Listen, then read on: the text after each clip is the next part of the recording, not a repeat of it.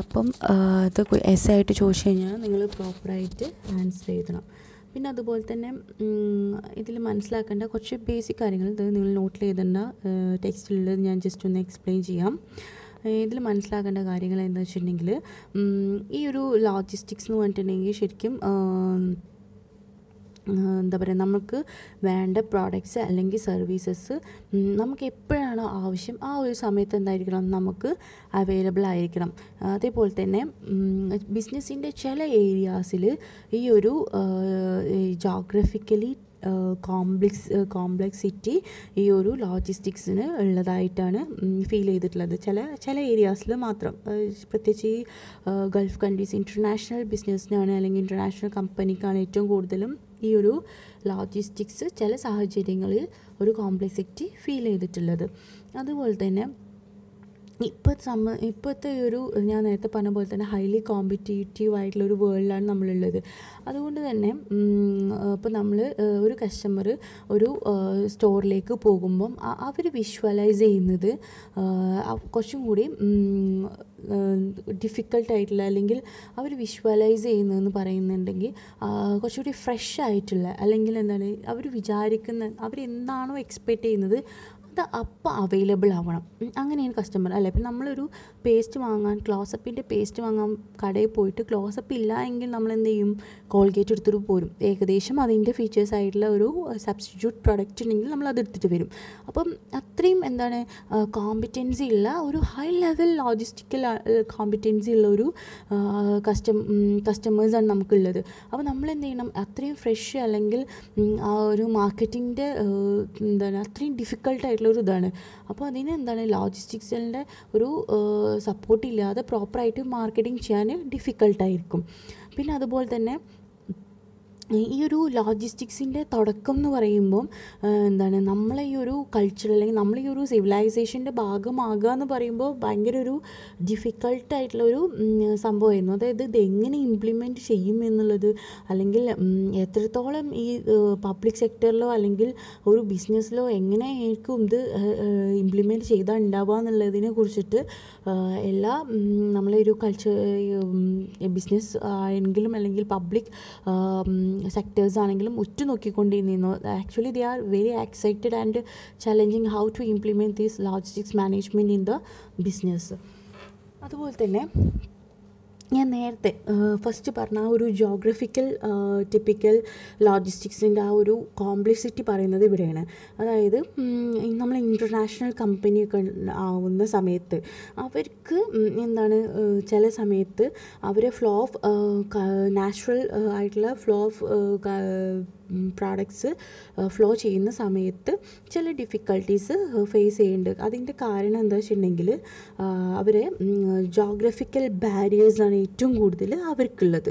ഈ geographical barriers എന്ന് പറഞ്ഞിട്ടുണ്ടെങ്കിൽ ഇന്റർനാഷണൽ കമ്പനിയിൽ പലതരത്തിലുള്ള ഇപ്പോൾ നമുക്കറിയാം ഫ്രൂട്ട്സ് ഇങ്ങനത്തെ സംഭവങ്ങളാകുമ്പോൾ അതിന്റെ ആ ഒരു ഫ്രഷ്നെസ് നഷ്ടപ്പെടാതെ തന്നെ അവർക്ക് ഇപ്പം ഇവിടുന്ന് കയറ്റി അയക്കുന്നതാണെങ്കിലും ഒക്കെ നമുക്ക് അവർക്ക് അത്രയും പെർഫെക്റ്റ് ആയിട്ട് തന്നെ കിട്ടണം. അപ്പോൾ ആ ഒരു പെർഫെക്ഷൻ കിട്ടുന്ന സമയത്ത് ചില സമയങ്ങളിൽ അവർക്ക് ഈ ഒരു ജോഗ്രഫിക്കൽ ബാരിയേഴ്സ് ഉണ്ടാവാനുള്ള സാധ്യത ഉണ്ട് അതൊരു ലോജിസ്റ്റിക്സിനെ ഒരു പക്ഷേ എഫക്റ്റ് ചെയ്യാൻ സാധ്യത ഉണ്ട് അപ്പോൾ ഈ ഇന്റർനാഷണൽ കമ്പനി ആണെങ്കിലും ലോജിസ്റ്റിക്സിൽ വരുന്നത് എന്തൊക്കെ ഇൻക്ലൂഡ് ചെയ്യുന്നുണ്ട് എന്നുള്ളതാണ് റോ മെറ്റീരിയൽസിന്റെ മൂവ്മെന്റ് അതുപോലെ തന്നെ flow in to and out ഔട്ടാണ് out of different countries different കൺട്രീസിലേക്ക് നമ്മളെ പ്രോഡക്ട്സിന്റെ കോർഡിനേഷൻ കാര്യങ്ങൾ അതുപോലെ തന്നെ ട്രാൻസ്പോർട്ടേഷൻ വരുന്നുണ്ട്. പ്രോഡക്റ്റ്സിന്റെ ഷിപ്മെന്റ് അതുപോലെ തന്നെ പ്രോഡക്റ്റ് സ്റ്റോർ ചെയ്യണം. അതുപോലെ തന്നെ ഈ എന്റയർ പ്രോസസ്സിനെ പ്രോപ്പർലി മാനേജ് ചെയ്യുകയും കൂടി വേണം. അപ്പോൾ ഇതൊക്കെ ഇന്റർനാഷണൽ കമ്പനി ആയിട്ടുള്ള ഈ ലോ കമ്പനികളിൽ ഈ ലോജിസ്റ്റിക്സിൽ വരുന്ന കാര്യങ്ങളാണ് നിങ്ങൾ അറിഞ്ഞിരിക്കേണ്ടത്. ചിലപ്പം രണ്ട് മാർക്കിന്റെ ഒക്കെ ക്വസ്റ്റ്യൻസ് ആയി ചോദിച്ചു കഴിഞ്ഞാൽ നിങ്ങളത് അറിഞ്ഞിരിക്കണം.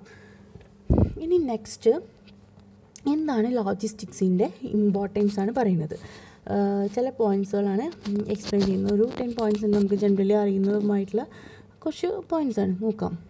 First one transportation cost have risen rapidly due to the rise in oil price അല്ലേ? എണ്ണയുടെ വില കൂടിയപ്പോൾ ട്രാൻസ്പോർട്ടേഷന്റെ കോസ്റ്റ് എന്ത് ചെയ്തിട്ടുണ്ട്? കൂടിയിട്ടുണ്ട്. അതുപോലെ തന്നെ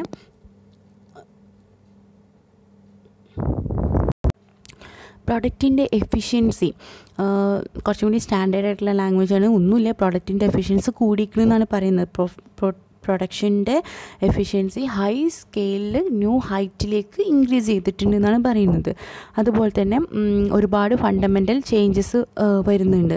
അപ്പം നമ്മളെ എന്താ പറയുക ഇൻവെൻട്രിയിൽ വരുന്ന ചേഞ്ചസ് ഇപ്പോൾ നമ്മൾ നമുക്ക് തന്നെ അറിയാം. ഇപ്പോൾ പണ്ട് നമ്മൾ യൂസ് ചെയ്തിരുന്ന പ്രോഡക്റ്റ് എന്താണ്? ഇപ്പം അതിന്റെ രൂപത്തിലും കളേഴ്സിലും ഇപ്പോൾ നമുക്ക് അറിയാം. പണ്ടൊരു വൈറ്റ് കളർ ഉണ്ടായിരുന്ന ലെക്സ് ഇപ്പം എന്താണ്?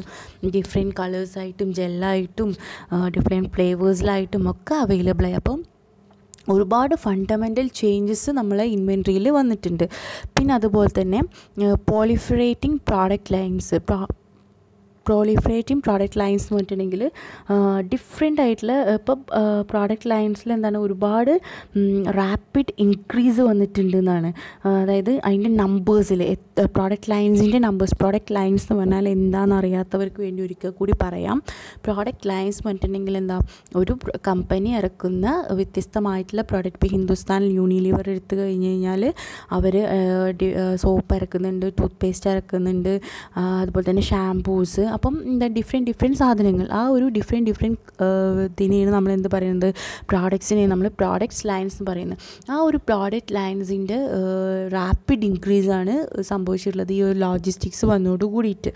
പിന്നെ അതുപോലെ തന്നെ കമ്പ്യൂട്ടർ ടെക്നോളജി കമ്പ്യൂട്ടറിന്റെ റെലവൻസിനെ കുറിച്ച് പറയാതിരിക്കുന്നതെന്ന് അറിയാം കാരണം ഇപ്പോഴും നമ്മൾ യൂസ് ചെയ്യുന്നത് ഡിഫറെന്റ് ആപ്സും ഡിഫറെന്റ് ടെക്നോളജീസൊക്കെയാണ് അപ്പോൾ അത്രയും കമ്പ്യൂട്ടർ എന്താണ് ഹൈലി ഡെവലപ്പായി വന്നിട്ടുണ്ട്.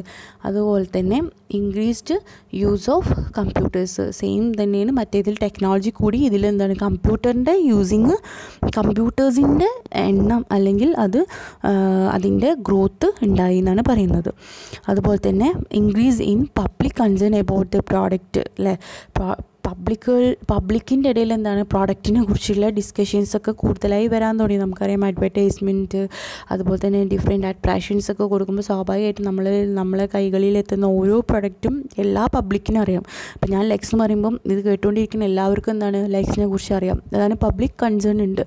അതുപോലെ തന്നെ growth of several new large retail chains or mass merchandise with large demands and very sophisticated logistic services bypassing traditional channels and distribution അല്ലേ അപ്പോൾ എന്താണ് ഒരുപാട് പുതിയതും അല്ലെങ്കിൽ ലാർജ് ആയിട്ടുള്ള റീറ്റെയിൽ ചെയിൻസും അതേപോലെ തന്നെ മാസ് മെർച്ചൻഡൈസും ഒക്കെ എന്ത് ചെയ്തിട്ടുണ്ട്.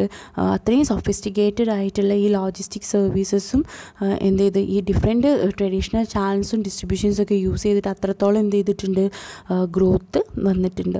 അപ്പം അത്രത്തോളം ഗ്രോത്ത് വന്നതുകൊണ്ട് തന്നെ എന്താണ് പബ്ലിക്കിന് ഈ കാര്യങ്ങളെല്ലാം എന്താണ് ഈ പ്രോഡക്റ്റിനെ കുറിച്ചിട്ട് അറിയാൻ സാധിക്കുന്നതും അതുകൊണ്ട് തന്നെ ഈ ഡിഫറെന്റ് ആയിട്ടുള്ള ചാനൽസും ഡിസ്ട്രിബ്യൂഷൻസ് തന്നെയാണ് മെയിനായിട്ട് എന്ത് ചെയ്യുന്നത് കസ്റ്റമേഴ്സിന് എല്ലാ പ്രോഡക്റ്റിനെ കുറിച്ച് അറിയാനും സാധിക്കുന്നത്.